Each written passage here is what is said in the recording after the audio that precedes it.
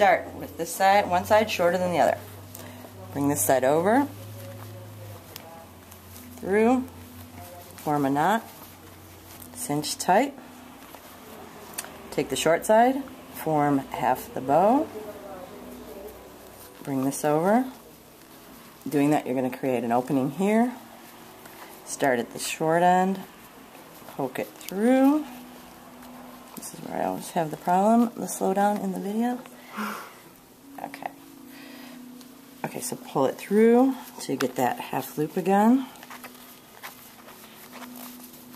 There's the bow, and then just back here, front here, tighten, loosen, tighten, loosen, adjust, fluff, and a beautiful bow tie.